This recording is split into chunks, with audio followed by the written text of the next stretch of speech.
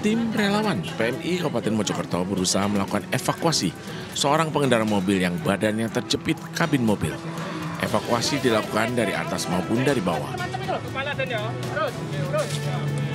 Korban pengendara mobil asal Surabaya berhasil dievakuasi dan dibawa ke rumah sakit Dr. Waidin Sudirohusodo Kota Mojokerto untuk dilakukan otopsi. Kecelakaan ini melibatkan empat kendaraan di Jalan Nasional Bypass, Magersari, Kota Mojokerto minibus, truk box, pickup, dan minibus.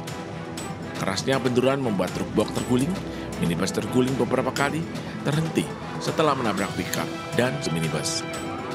Kecelakaan berawal, sebuah minibus melaju kencang dari arah Jombang menuju Surabaya. Berusaha menyalip kendaraan lainnya hingga keluar badan jalan, menabrak pakaian truk box bagian belakang hingga terguling beberapa kali. Nabrak kanan saya gitu. Nabrak apa itu? Box saya ini. Oh, nabrak box. Saya guling sama dia nabrak pickup itu.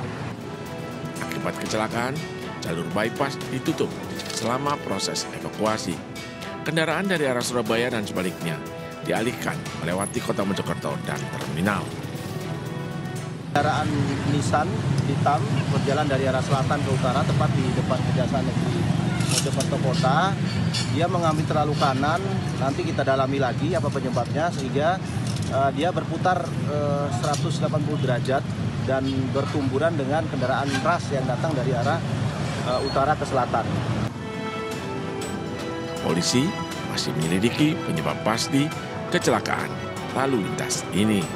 Dari Mojokerto, Jawa Timur, Solaudin melaporkan.